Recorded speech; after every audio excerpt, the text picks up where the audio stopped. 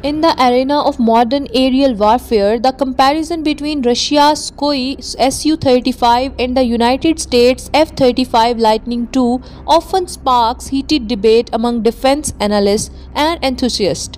Both fighters represent the pinnacle of their respective countries' aviation technology, but they are designed with different philosophies and capabilities in mind.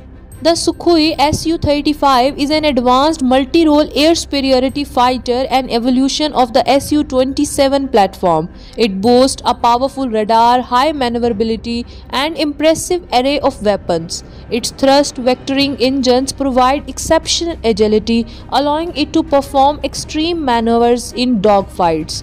The Su-35 is primarily designed to dominate in air-to-air combat and maintain control of the skies. On the other side, the F-35 Lightning II is a fifth-generation multi-role stealth fighter. Its design emphasizes low observability, advanced avionics, and network-centric warfare capabilities.